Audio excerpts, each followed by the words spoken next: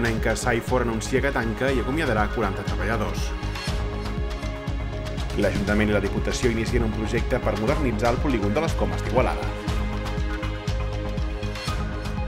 N'és la delegació de Catalunya en Comú a Igualada.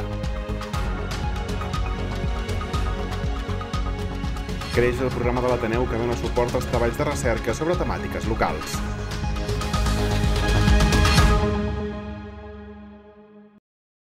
L'empresa Saifor, amb seu a Vallbona de Noia, ha presentat concurs de creditors en el qual planteja tancar la planta i acomiadar els 40 treballadors que té. Saifor, que ja ha tancat els darrers mesos les delegacions que tenia a França, Bèlgica, Dubai i Madrid, alega sobrecàrrega financera amb un excés d'endeutament i costos excessius de producció que fan inviable, asseguren, continuar l'activitat. Saifor ja no ha pagat una part de la nòmina del juny i la paga extra de l'estiu i assegura que tampoc té diners per fer front a les indemnitzacions dels acomiadaments que hi hagi. Els treballadors que fa tres setmanes que se'ls va demanar que no anessin al seu lloc de feina ja s'han començat a mobilitzar i acusen a l'empresa de fer una direcció errònia que els ha conduït fins a l'actual situació. Cal recordar que Saifor, fundada el 1986, és una de les empreses tecnològiques referents a Catalunya i està dedicada a fabricar mobiliari tècnic per sales de control i centres de dades. Exporta el 70% de la seva producció i al mes de novembre va rebre un premi del Col·legi d'Enginyers Industrials de Catalunya per la seva activitat.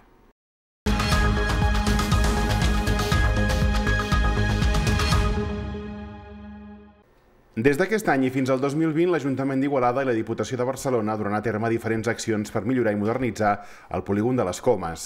Aquests treballs contemplen accions per millorar la mobilitat, l'estacionament, l'enllumenat públic i també la senyalització del polígon. La Diputació de Barcelona invertirà de manera fraccionada en aquestes millores un total d'1,7 milions d'euros. Ho farà després que Igualada hagi presentat el projecte bàsic per la modernització i millora integral d'infraestructures al polígon industrial de les Comes, a la convocatòria oberta recentment per la Diputació dins del seu pla de modernització de polígons. L'Ajuntament d'Igualada afegirà gairebé 250.000 euros més per fer possible de manera immediata el conjunt d'actuacions previstes a la primera fase del projecte.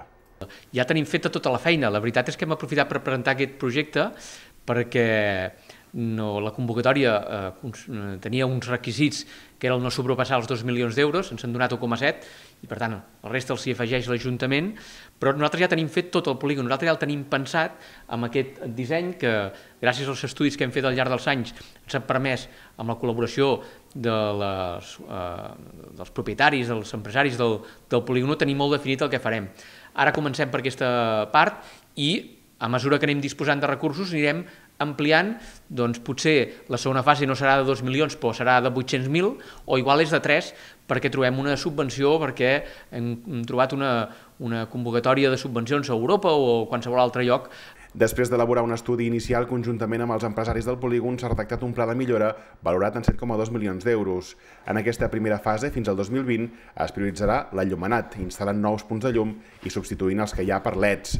Es millorarà la senyalització tant vertical com horitzontal, així com també la seguretat en els passos de viarans, i s'actuarà finalment també en la mobilitat dels carrers Alemanya i Gran Bretanya. Totes dues vies passaran a ser d'un sol sentit de circulació, permetent un millor aprofitament de la seva amplada per a altres usos. D'aquesta manera es podran reordenar les voreres, adaptant-les a la normativa actual i també a encabir-hi un carril bici bidireccional. Tot arreu n'hi ha carril bici, invertim eh, el vianant i el carril bici. Vorera de dos metres pel vianant, de sobres, i 3 metres pel carril bici per tenir els dos sentits perfectament eh, dimensionats. I una línia d'escorcells i enllumenat. Val? Evidentment, enllumenat nou. Una línia d'aparcament en cordó, sencera, de punta a punta. Val? Un o dos carrils. Aquí veieu que hi ha dos carrils, eh? aquí hi ha dos cotxes. Eh? En el fons tenim pràcticament 6 metres i mig de calçada central, per tant hi haurà carrers d'aquests que podran tenir dos carrils i n'hi haurà alguns que segurament només en quedarà un, però estem parlant d'un sol sentit. Per tant, estem parlant sempre d'un sol sentit. I què fem a l'altra vorera, on abans hi havia la mateixa secció?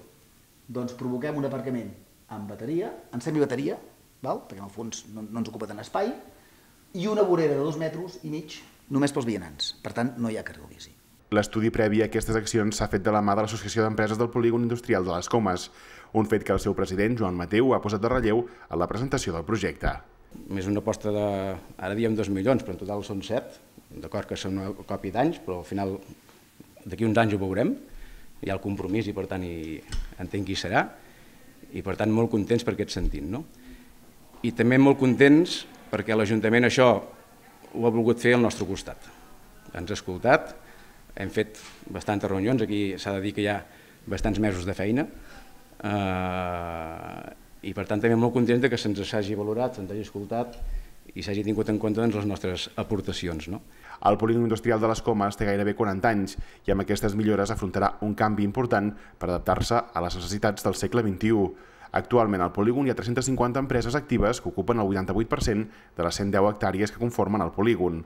El Departament de Dinamització Econòmica de l'Ajuntament d'Igualada estima que aquestes empreses ocupen 4.000 persones.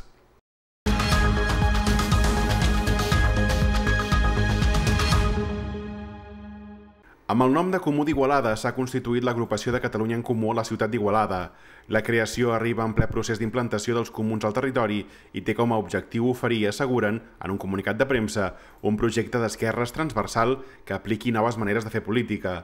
L'agrupació es planteja com a primer pas crear espais de treball sectorials en els àmbits d'acció social, economia, treball, educació, feminisme i LGTBI, salut, territori, polítiques urbanes, habitatge i medi ambient i sostenibilitat, entre d'altres. Un dels objectius del nou Comú d'Igualada també és crear un projecte per presentar a les eleccions municipals del 26 de maig de l'any vinent. Aquest seria el substitut de Decidim Igualada, que és la marca amb la qual les persones que impulsen el Comú van concórrer a les comissis locals el 2015.